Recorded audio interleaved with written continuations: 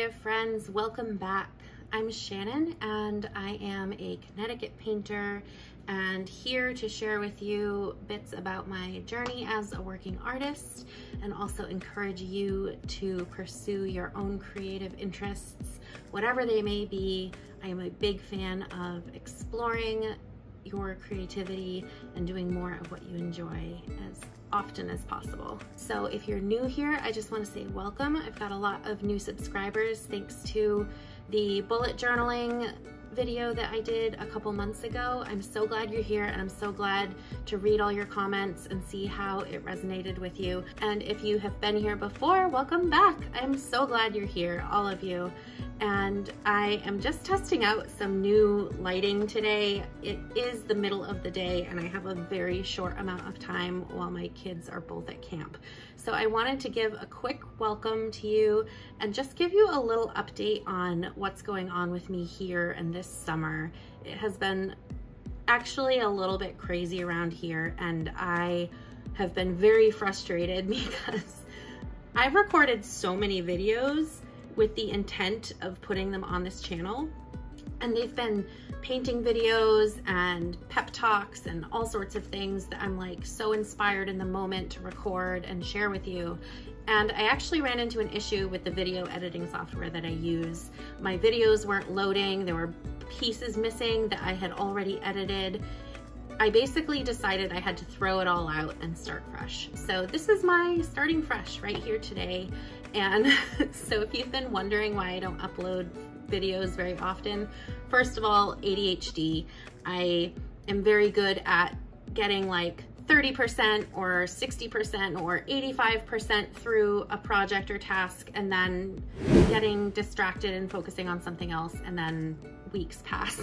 I don't know what else to tell you, but I do intend to shoot more videos here for the channel. I have a list of 100 ideas for videos that I want to make, not just this year, but just going forward, in addition to painting videos and sharing, you know, my creative process with you because I don't know, I think it's fun to watch other people paint and hear what they're thinking as they're working and going along. So if you're interested in stuff like that, let me know in the comments. I would love to know what you might want to hear from me. If you have any questions about me, about what I do, about what I used to do, um, I'm open to doing a lot of different kind of videos here. I gotta think of what I wanna say. So one of the things that I hear from a lot of people who want to get started painting or doing any sort of artistic crafts or pursuing their interests is how do you get started? How do you make time for it? How do you like make yourself actually do it other than just buying the supplies because we all know that buying supplies is really fun. That's like a hobby in and of itself.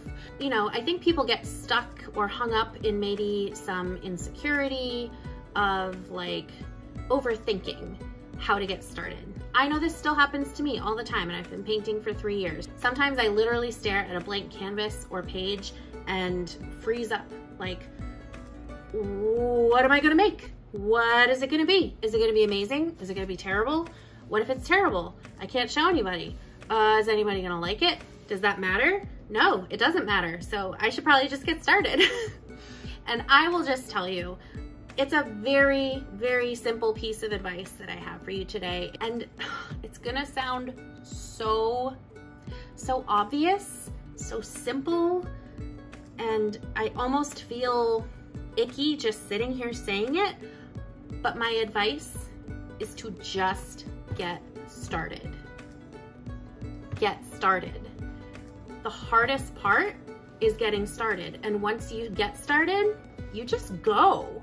You just get into it. You get in that beautiful creative flow. You lose hours of your day because you're so excited with what you're doing in the moment.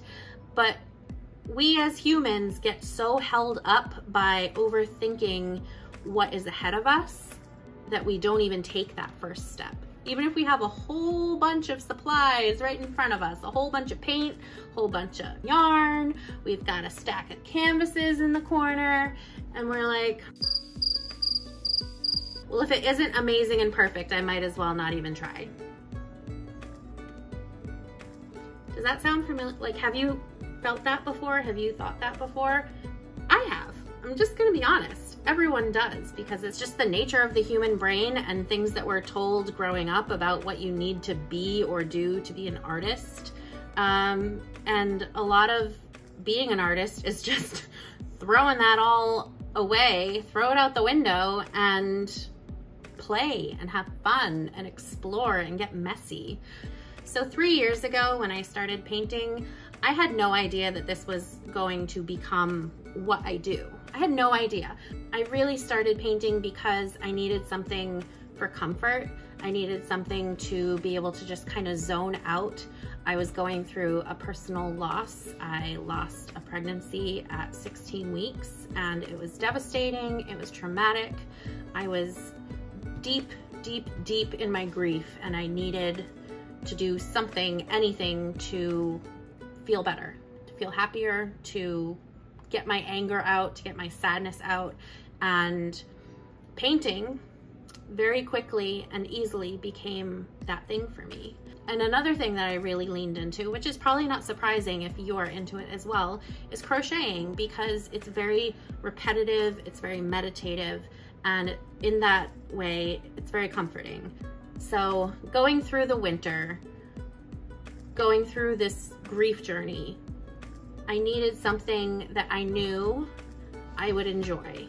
And growing up, I always loved painting. I've been doing a whole variety of arts and crafts my whole life. I've been sewing, I've been painting, I've been crocheting. I I grew up in a very encouraging family. Thank you family for being so encouraging to really explore and and and find the things that I enjoy, not just things that I'm good at cuz we're not good at everything, but you can still enjoy things even if you're not good at it. Like I think as a society, we feel like we have to be good at things in order to do them.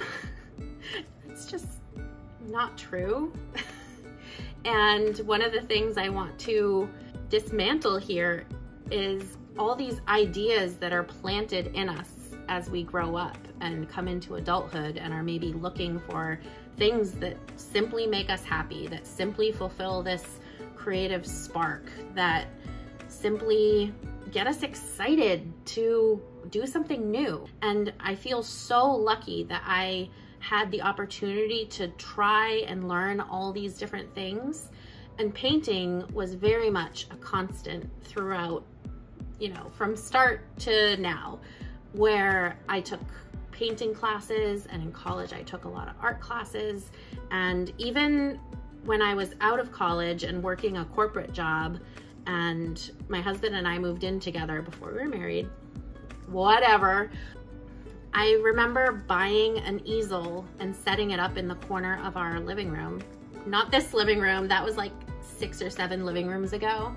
But I remember setting up an easel and going to a local store and buying some cheap acrylics and some brushes and some little canvas panels and just going home and painting after work because it was so relaxing and my job was so stressful. You know, even then knew this is something that I enjoy.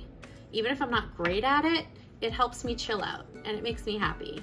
And my husband would come home and say like, it's really great to see you painting because you just look happy. You look like you feel good and relaxed.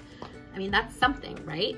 So I've always been a painter. I've always been an artist. It took me a while to be able to say that and feel comfortable saying that. That's another thing.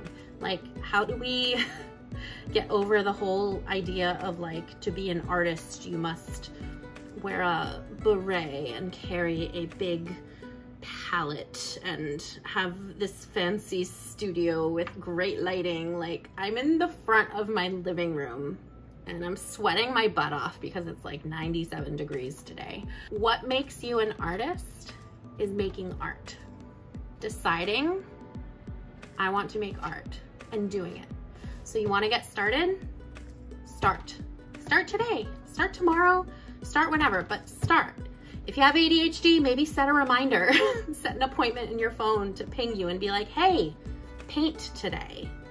And then take the steps you need to do so that when you feel that spark to do it, you'll be ready. A lot of times if I'm not fully set up, like if you saw my table in front of me, I have my palette, I have my paints, I have water, I have brushes, I have more paints, I have space to work. I can sit down right now and start painting if I want to. If I didn't have all this stuff out in front of me, ready to go, I wouldn't paint as much. So if your brain works like mine, maybe going to the store, picking out a couple colors that you like, a couple colors of paint, a couple brushes that look fun or interesting, uh, get a plastic palette. It doesn't need to be fancy. I use this, I think it's a dollar. If you have like an Ocean State Job Lot near you, I don't know if that's a New England thing or an art store, you can go to Michael's, you can go to Joann's. There are a lot of places you can buy acrylics on Amazon and they can be shipped to your door. You don't even have to leave your house. But gather your things, create a space in your house or in your room, in your dorm room, in your dining room maybe a corner of your kitchen counter or your kitchen island that just gathers up mail and everyone else in the house is junk anyways.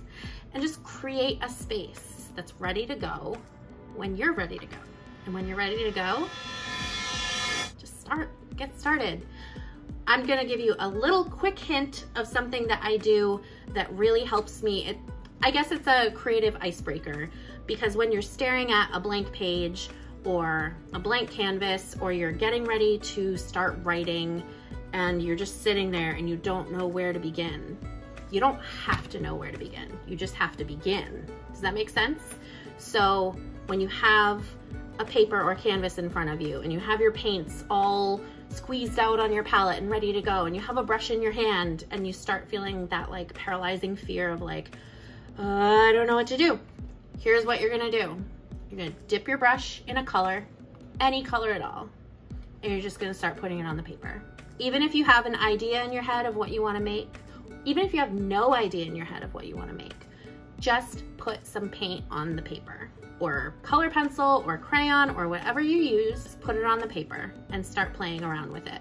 It's kind of like a warm up for sports. You have to like warm up your brain and let go of all those inhibiting thoughts of like, uh, what's it gonna be? Is it gonna be good? Like, you have to figure out a way to let those thoughts go. And that takes a warm up, like actually physically warming up your body and your brain to create art.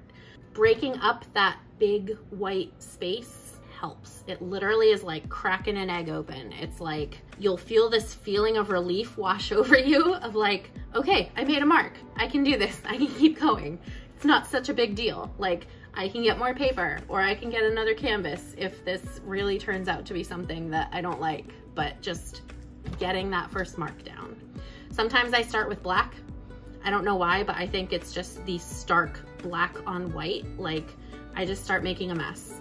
And I know in my head, it doesn't matter what I'm doing because I'm gonna paint over it. Like most likely 99.9% of the time, you don't see those marks by the, I don't see those marks by the time I'm done, but it helps me to just get in the zone, let go of the whole like fear of creating and just have fun. And then you have fun. Like you just get to paint, you just get to make stuff. How great is that? All right, so I'm gonna wrap this up. I actually have to go eat a sandwich because hello brain, that is something that I always forget to do. Lunch is a struggle.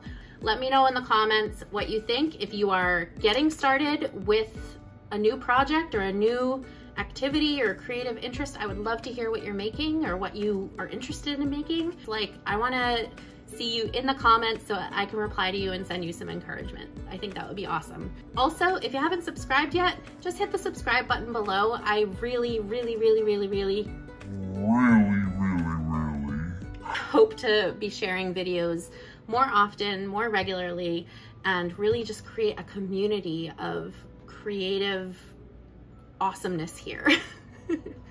I'll have to come up with maybe like a cool name for what we're building here. But I truly believe that building community around shared interest, which here it's all about creativity, creative living, doing things that we love, doing things that help us feel better, maybe you have ADHD. Welcome, welcome, welcome. We all are welcome here. But yeah, I am excited to move forward with this channel. I'm so happy you're here. And wherever you are today, I hope you're having a wonderful day. Stay cool. If you can stay inside in air conditioning, try to do that because oh my goodness, it is hot.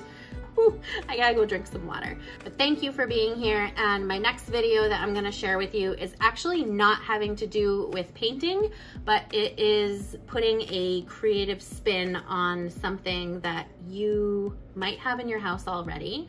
It is creative, it's artistic, it's colorful, and I can't wait to share it with you. If you hit the bell button near the subscribe button below, that'll send you notifications when my new videos are uploaded. And again, I would love to know in the comments what you're creating, what you're interested in making. If you're struggling with anything and could use some encouragement, like let's get to know each other, like actually beyond this video. Let's encourage each other and work through things together and just make this a happy little creative place. Happy little creative place. Maybe that is something. Thanks for watching. I'm Shannon. You can connect with me anytime on my social media accounts, which are linked below in the description. And I hope you have a great day.